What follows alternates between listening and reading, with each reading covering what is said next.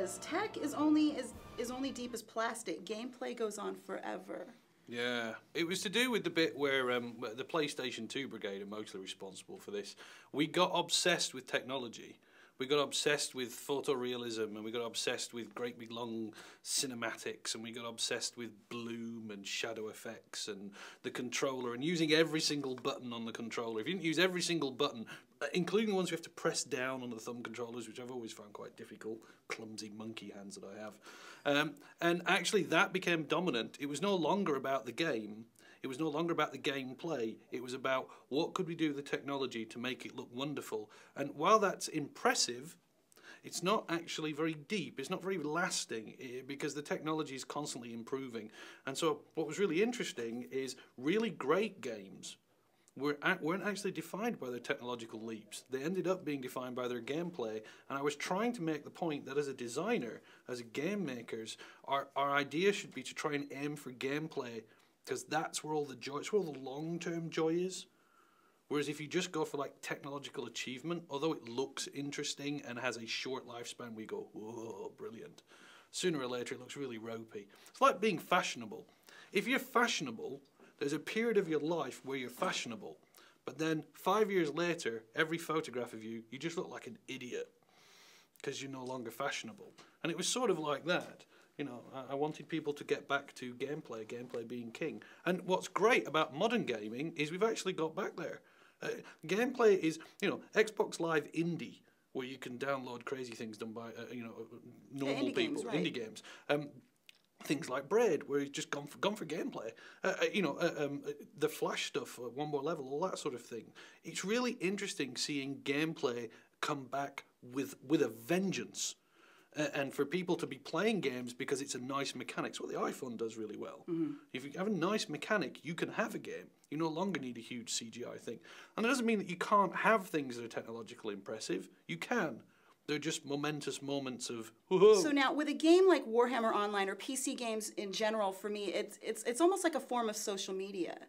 And so, for me to hear that you were going to be the governor of my outer space, I was absolutely thrilled because I can't see anybody else being the governor of a planet of a social media site that doesn't know how you know things like social media or you know just life within a, a PC type of world works.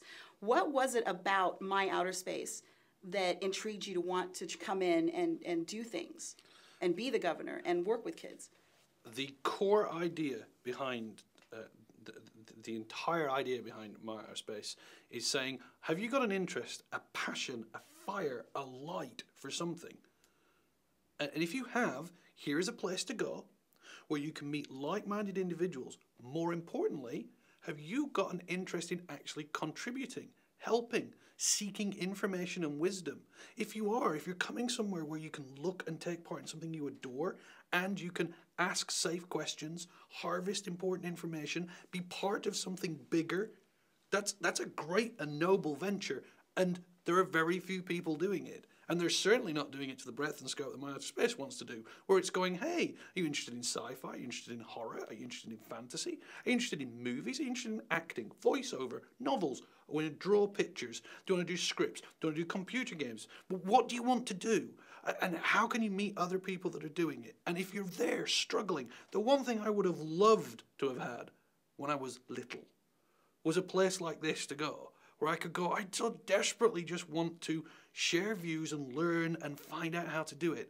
And I don't want to have to go to official sites. And I don't want to have to go to industry sites. Mm. I want to go with be with my people. I, I can't afford a ticket to GDC. I can't fly out there. I wouldn't understand half the stuff if they told it. I want somewhere safe where I can meet with people who are like minded, share views, and learn. I won't call you a noob with two zeros in it. Yeah, and, and yeah, basically look down on you because you're you're daring to look up, and and so my outer space actually captures that vibe really really well.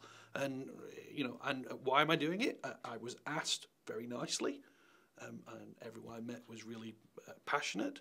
and they really do seem utterly genuine in trying to allow people who really give a damn about something they love to take part in it. Why wouldn't I do it? Now, last question I have for you, and then we're going to let you go, is you know, we are coming into that hardcore convention season E3, Comic Con, you know, everything under the sun, PAX West. Where can we see you with these? Any of these? yeah, the grand tour. Uh, I'll be at E3. Woohoo. I'm actually on the stage at E3, uh, sort of doing the the bridging between all the different um, games, which is really really fun. We've got lots of really interesting things happening there. Uh, I'll be at PAX, PAX Prime, which is in Seattle. I'll be off in Cologne for the big European. For the uh, yeah, there's a huge. Used to be in Leipzig, in Germany, right? but but it's in Cologne this year, so hopefully the food's better. Um, but more importantly, you'll be able to follow it on the website. You'll be able to follow it on my outer space. You'll be able to take part in these things. If you can't get there, then it's the ideal place to find out what's going on and where, what's happening and why it's important. And we can share information there as much as we can share it being at the shows. But if you're at the show, come and say hello because it's important to do that. Bridge the gap. Don't be afraid. Make yourself accessible. Absolutely. I, I do want to uh, once again welcome you to my outer space. Thank oh. you so much for being the governor of Sirius. And I can't wait to see what you have coming up game wise that you can't really talk about. But the I can't wait to projects. see it. The secret projects. We did get green light though, so that was very yeah. good. Paul Barnett, always a pleasure. Pleasure. Thank you very much. For myouterspace.com, I am Crix Lee. Be good.